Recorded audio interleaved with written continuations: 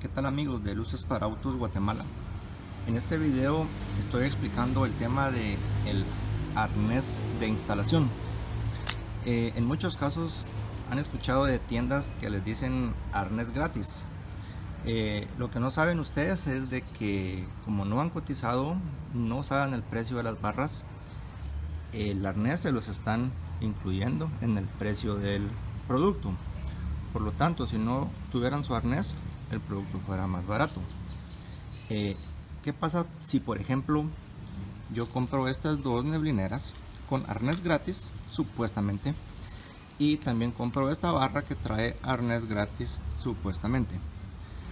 Y si yo quiero instalar mis dos luces juntas, mis neblineras y mi barra, solo voy a necesitar de un arnés por lo tanto este arnés ya no lo voy a necesitar y se desperdicia lo cual yo lo pagué.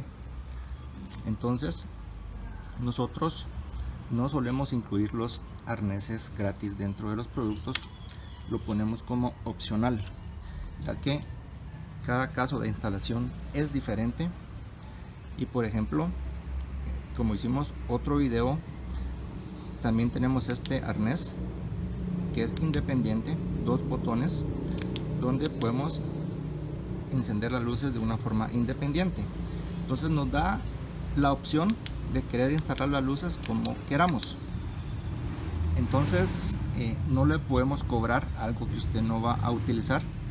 Como por ejemplo sucede en los casos donde el vehículo ya tiene algunas luces viejas instaladas ya tiene su cableado y solamente el cliente compra su nueva luz ya no necesita otro cableado porque el cableado ya está en el carro.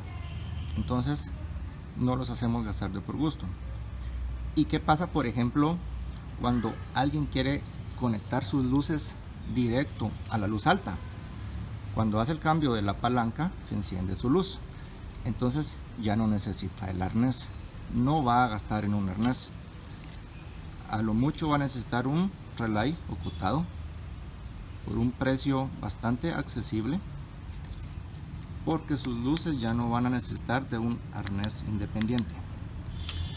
Así que espero que este video educativo les haya servido y próximamente tendremos más videos. Hasta luego